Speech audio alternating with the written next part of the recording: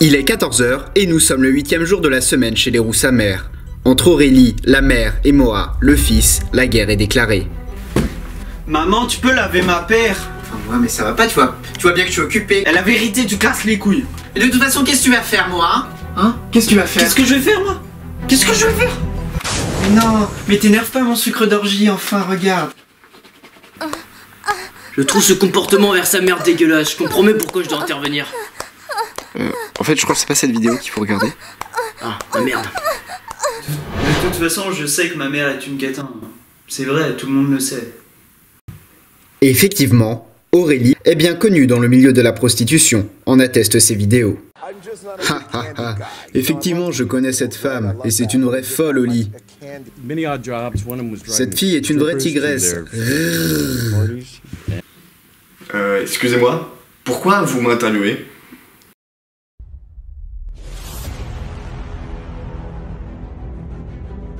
Pour Pascal, c'est une nouvelle mission qui commence. Éducateur pour les 3-4 ans depuis bientôt 3-4 ans, il intervient dans les familles en difficulté pour faire renaître un espoir sur la mère patrie, la même qui fait construire une nouvelle civilisation, cette terre qui n'appartient à personne et en même temps à tout le monde, ce peuple, notre peuple, un peuple opprimé mais un peuple fier de connaître une nouvelle aube au sein même de la confrérie des francs-maçons.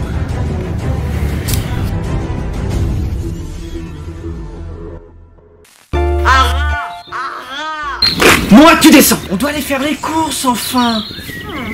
Allez, viens. Maman. Maman, maman, est-ce qu'on pourrait avoir des biscottes? Parce que le matin, je prends des biscottes. Mais oui, mais ne, ne t'en fais pas, mon chéri, d'accord? On en prendra. On veut des biscottes? Pascal Pascal. On veut des biscottes? Pascal. Tu veux jouer? J'ai de la biscotte, tu veux jouer? Maintenant, je vais vous emmener dans un endroit coupé du monde, parce que chez vous, c'est vraiment le bordel. Qu'est-ce que t'en penses? Pascal a donné à Aurélie un rendez-vous chez un psychologue pour parler de sa situation avec son fils.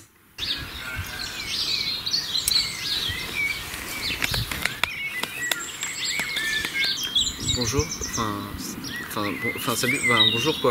Bonjour Aurélie, alors, comment ça va avec votre fils? Euh.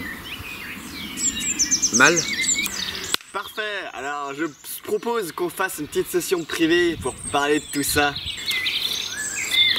Ce n'est qu'après 30 minutes que Valérie sort enfin de chez le psychologue. Ce rendez-vous avec euh, le psychologue m'a vraiment aidé. Je me, je me sens beaucoup mieux, plus reconstruit avec moi-même. Vous prenez toujours paiement par PayPal? Euh, Parfait. Je vous fais un virement plus tard. Bon, je vous ai réunis ici, dans un endroit très spécial, parce que vous avez des choses à vous dire. Mora, je vois que t'as le sourire. Mais t'as intérêt à me l'enlever, ce sourire. Parce que t'es là avant tout, pour libérer tes émotions. Pour toi, mais aussi pour l'audience. D'accord, Pascal. Appelle-moi Patou. Pas Tichi entre nous. Bon, vous avez dans vos mains un marteau. Et vous allez taper dans cet arbre. Parce que cet arbre, c'est symbole de quoi à votre avis? C'est là où on se pend Non C'est symbole de vie, de renaissance, mais surtout... Euh, la mort?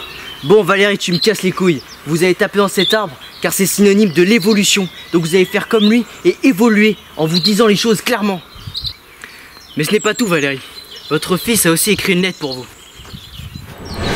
Maman, je voudrais m'excuser pour tout le mal que je t'ai causé.